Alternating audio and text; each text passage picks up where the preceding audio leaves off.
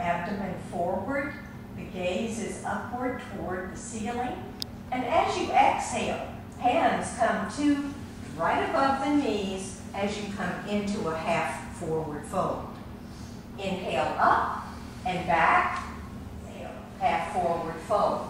Now, those of you that are used to doing forward folds or that do not have osteoporosis, this time leg coming about two-thirds of the way toward the leg, and then on your inhale, come up a third of the way.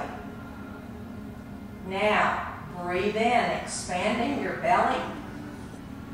Exhale, pull the belly in. Six breaths in the rib cage.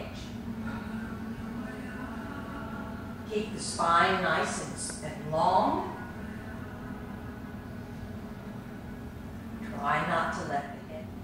Really feel your shoulder blades coming closer together here. Helps to open your chest.